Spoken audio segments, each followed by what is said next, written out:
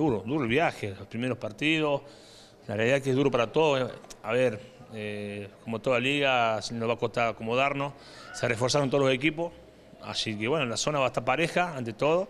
Y la prioridad nuestra es meterse dejando el vóley jujeño dentro de la plaza. Porque hoy por hoy la plaza de A2 es muy complicada jugarla de nuevo. Eh, ¿Qué Jujuy Voley vamos a ver? ¿Parecido al del campeonato anterior? ¿Diferente? Yo creo que vamos a encontrar un Jujuy Voley más agresivo en ataque. Era un equipo muy conservador, como jugadores muy irregulares como Larriaga y Muro. Ahora tenemos a Tommy Rodríguez más fuerte en ataque, en Nahuel Camacho más fuerte en ataque. Así que bueno, en la conducción de, de Sánchez, Nicolás, pues creo que va a ser por ahí un equipo más, más agresivo. ¿Tenés mejor altura?